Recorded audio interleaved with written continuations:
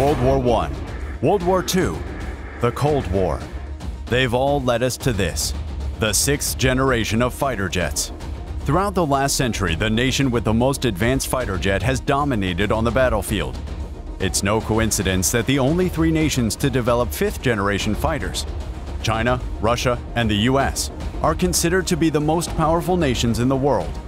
And now, with sixth generation fighters upon us, the US, Russia, China, and this time Europe are ready to battle it out.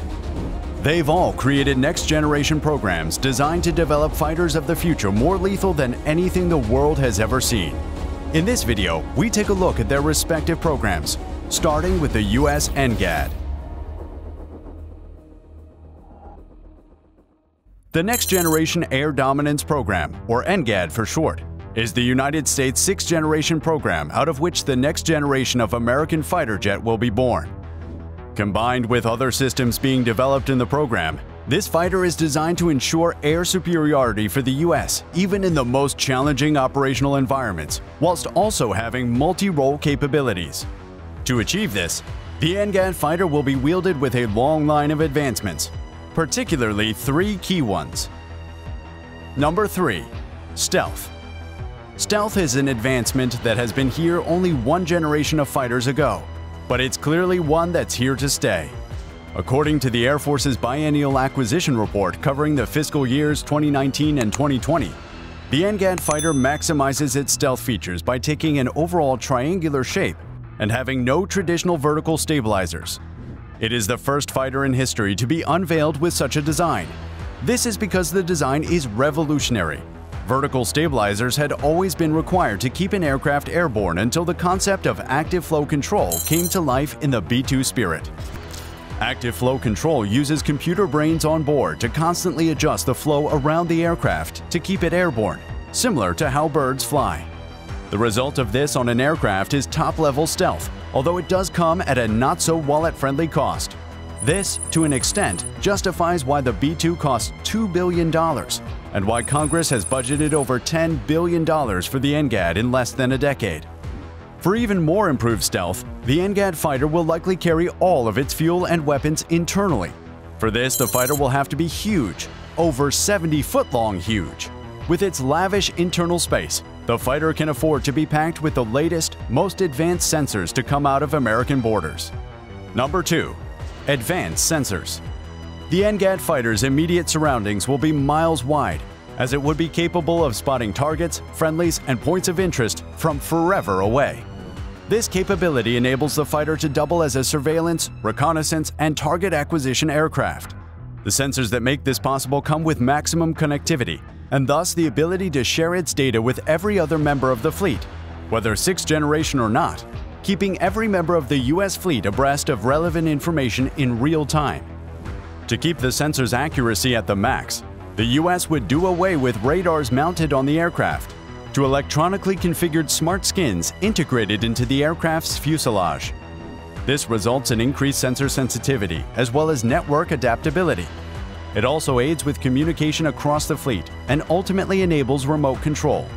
As a result, the NGAD fighter is designed to be optionally manned depending on the requirements of the mission. Number 1 open architecture. Laser weapons that can take out targets on the ground, in the air, on the seas, and even in space.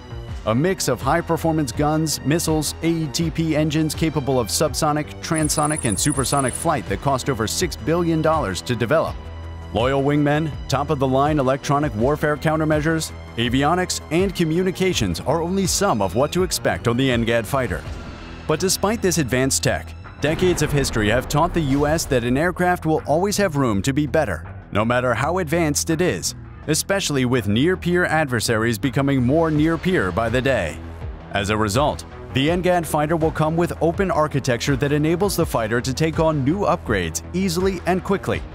This way, the fighter will constantly adapt to newer challenges on the battlefield that are introduced by the advancements of opposing militaries. To put it simply, the 6th generation NGAD fighter can be upgraded to become the 7th generation NGAD fighter years after it's fielded in the 2030s. This and more are what it takes to get to and remain at the top in a heavily contested battle for 6th generation dominance by the NGAD fighter and three other major competitors. Europe, Russia, and China have also got the ball rolling with sixth generation fighter programs of their own, all expected to wield the most advanced local and foreign technology their respective countries could offer. Europe, being a continent, has already had a bit of drama concerning its sixth generation fighter, as two separate programs have been developed for that same cause the FCAS and Tempest. FCAS and Tempest France, Germany, and Spain came together to develop the Future Combat Air System, or FCAS for short, while Britain, Italy, and Sweden developed the Tempest.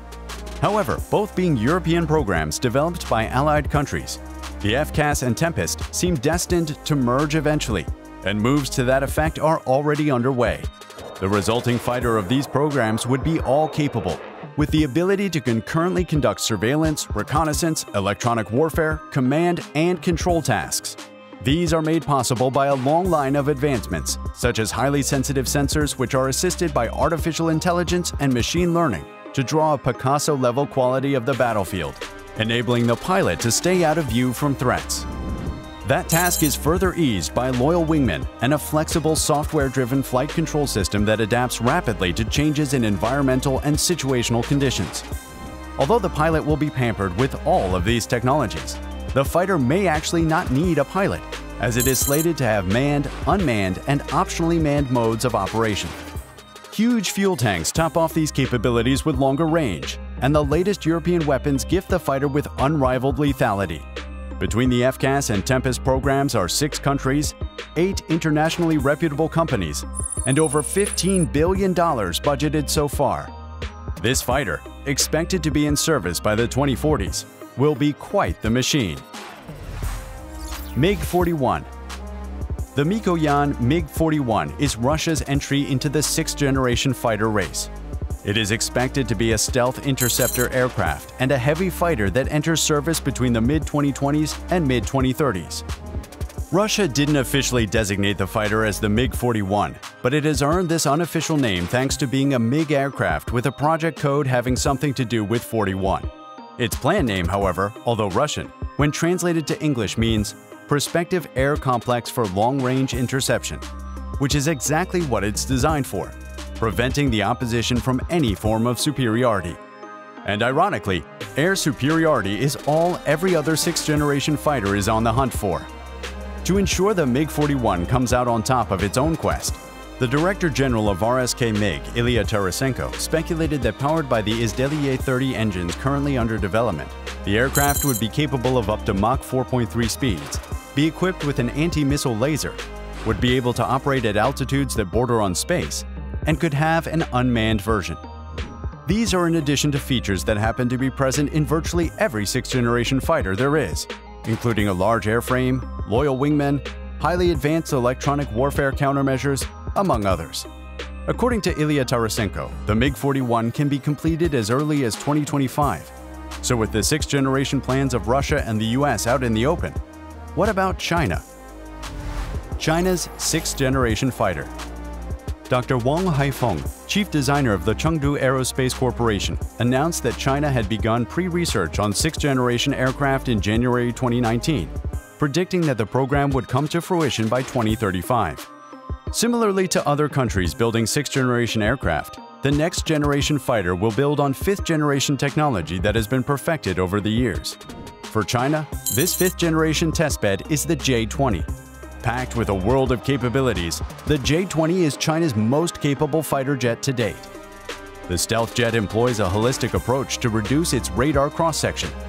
The chined forebody, modified radar radome, and electroconductive canopy use stealth shaping, as the diverterless supersonic inlets improve stealth performance by eliminating radar reflections between the diverter and the aircraft's skin.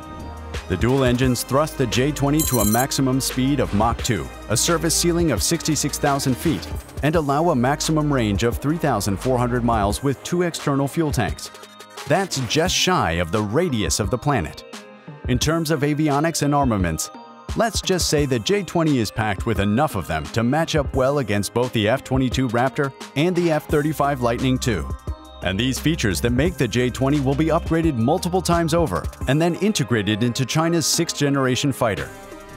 So China, Russia, Europe, and the US are preparing for the biggest bout in the history of fighter jets. and their representatives are none other than the sixth generation fighters discussed in this video. Now the ring is set as the world waits for two things. For these contenders to introduce themselves and for you to subscribe to this channel. So kindly hit the red subscribe button below now. Thanks for watching. See you in the next one.